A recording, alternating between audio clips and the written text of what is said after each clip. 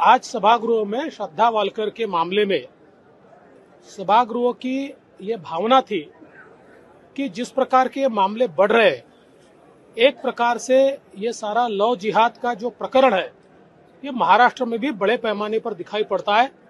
उस पर हमने आश्वस्त किया है कि अलग अलग राज्यों ने इसमें जो निर्णय लिए हैं, जो कानून तैयार किए हैं, उन सभी का अभ्यास हम करेंगे। महाराष्ट्र के उप मुख्यमंत्री देवेंद्र फडणवीस ने कहा कि उनकी सरकार अन्य राज्यों में विधेयकों और अधिनियमों के विस्तृत अध्ययन के बाद लव जिहाद के मुद्दे पर अंतिम फैसला लेगी।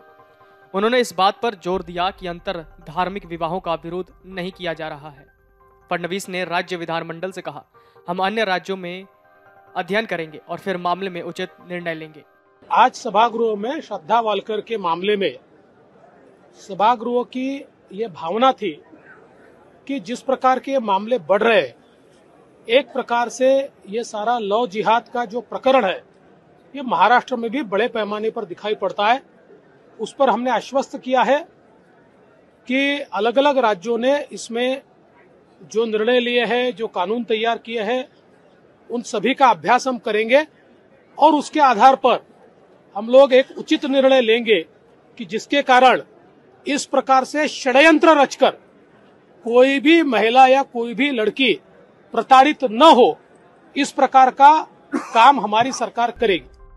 फडणवीस ने आश्वासन दिया, पूरी तरह से अध्ययन के बाद ही सरकार एक नए अधिनियम या मौजूदा कानूनों में संशोधन के बारे में फैसला लेगी और जो भी अच्छा है, उस पर सरकार विचार करेगी।